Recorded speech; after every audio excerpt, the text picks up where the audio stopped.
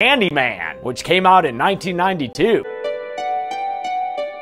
to her summoning the hook-handed Candyman by saying his name five times in a mirror. That's right, Candyman is summoned by saying his name five times, not three. Common mistake, but three is more of a Bloody Mary thing. Even though she has the opportunity to stop after four, like Raimi there does, this babysitter Clara goes all the way and says his name a fifth time by herself. Candyman. And then... She turned out the lights you and died. Yeah, we'll count Claire on the list, even though the veracity of this death is pretty dubious, what with this being an urban legend and all. During their negotiation, Bernadette shows up at Helen's apartment. She hears Helen crying and comes in to help her, only to find Candyman waiting for her behind the door. The actual kill takes place off screen, but after Trevor comes home to find Helen with a knife in her hand, we do see Bernadette's body being handled by cops. Five utterances later, she gets to say I told you so when Candyman man's hook emerges from Dr. Burke's torso. This kill is the major difference between this movie's rated R and unrated versions, which you may have been able to tell due to the change in film stock quality. It's weird though, I don't think there's anything too ridiculously heinous here. Helen breaks free of Candyman's power by grabbing a flaming stake and stabbing him in the B chest with it. While he thrashes around angrily, she crawls away with the baby, and although a falling beam lights her on fire on the way out, she does manage to escape against Candyman's wishes.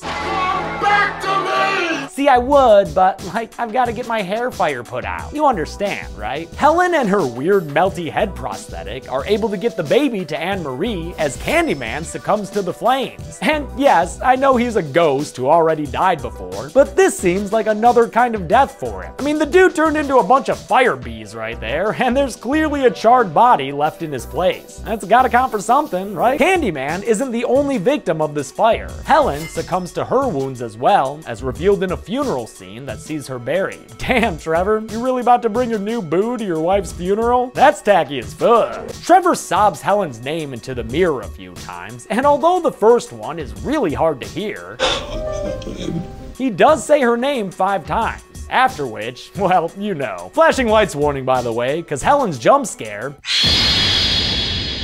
is full of needlessly strobing lights. Helen, the candy woman, question mark, kills Trevor with the murder weapon she's inherited, a gnarly bloody hook. And boy does she love doing it! Flashing lights are over now, cause all that's left to see here is Trevor's bloody corpse as discovered by Stacy, who very inconveniently has a knife in her hand. There were six victims in Candyman, consisting of three women and three men although one of the women was just in a story being told, and one of the men was like a, a ghost or something? I don't know.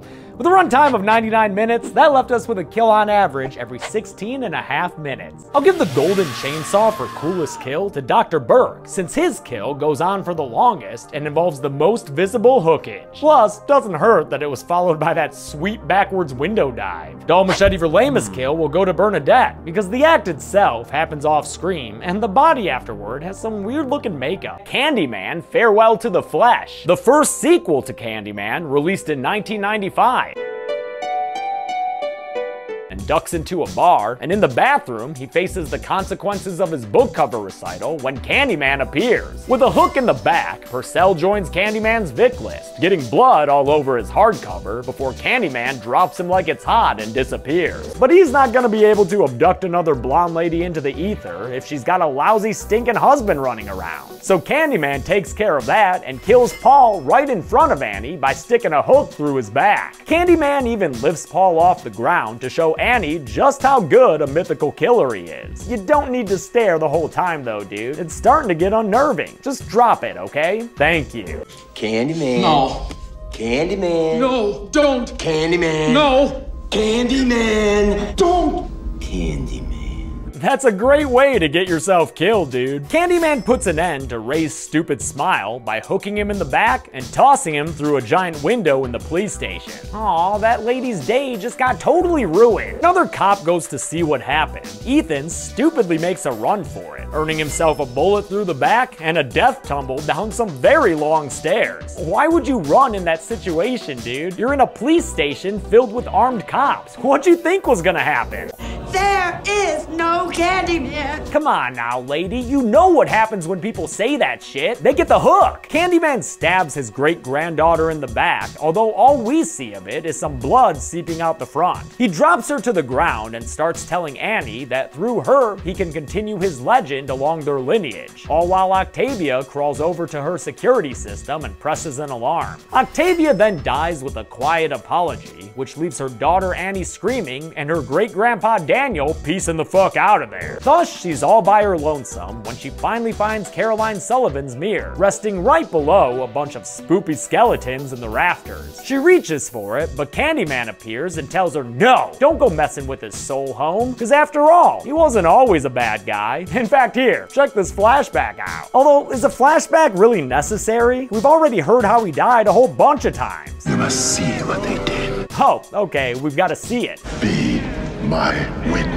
If you say so, dude. Actually, like I said up top, this flashback is probably the best part of the movie. No surprise, since it's centered around Tony Todd giving a heart-wrenching performance as Daniel Robitaille is murdered for the crime of falling in love. Sure, the clothes here may look more like costumes in a community center play than period-accurate attire, but dude, they're sawing his freaking hand off. That more than makes up for any low-budget costuming. True to the tale, the racist bastards who beat him down then cover him with honey from a couple of broken honeycombs, which is, of course, how he got his name. Candyman. Candyman. And his catchphrase. Sweets to the sweet. When a biblical swarm of bees approaches them, the lynch mob backs away and allows Daniel Robitaille to get swarmed and stung by all of them. He survives long enough for his love Caroline to find him, and it's a truly sad scene that even Candyman can't help but cry over. Before Daniel Roba dies, he cries out in pain and curses his killers. You will all be damned. With one last utterance of his name into Caroline's mirror, he gives up the ghost. Although, as we all already know, his soul will live on in legend. They successfully escape the torrent of water, and on their way out, Annie grabs Caroline's mirror. Candyman tries to stop her one last time by literally standing atop the water, but she smashes the mirror against the wall, killing Candyman's spirit again by somehow turning him into, uh, glass, I guess, since he breaks into a bunch of pieces and then shatters all to hell. Guess he was more like the candy glass man.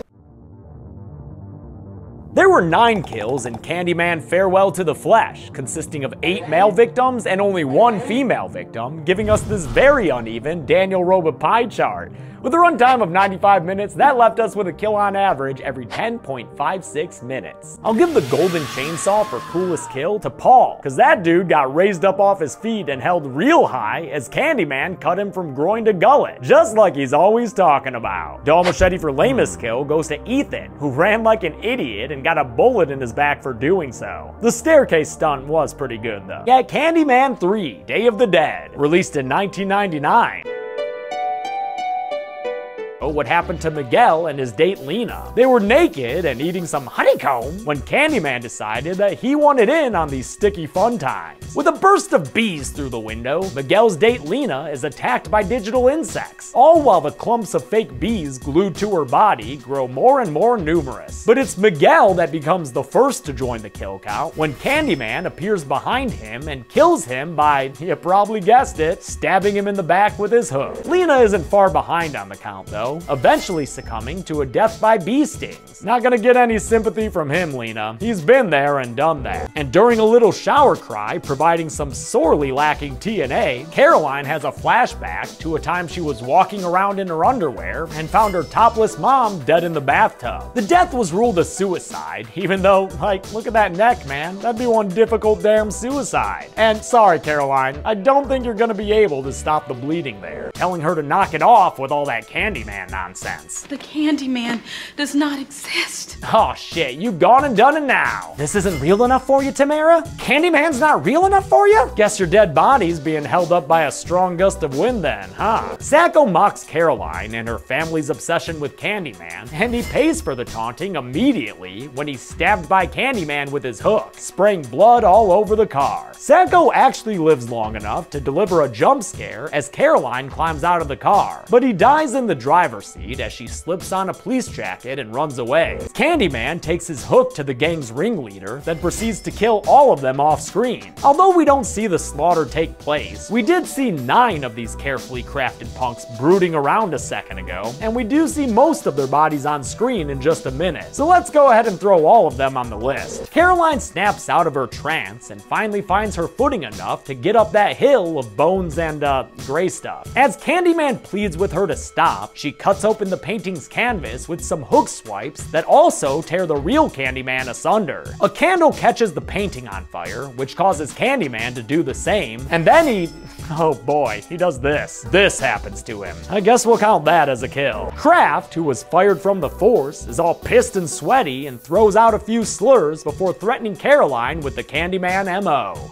I'm gonna split you open from groin to gullet. But of course, before he can do that, he's shot through the back by Detective Matthews. Not the Donnie Wahlberg character, but the Ernie Hudson Jr. character, who's apparently able to shoot his targets from around corners. What's going on there, dude? You got them bullet bending skills like in Wanted? Oh well. Any last words, Kraft? Candyman. Cool, cool, cool, cool.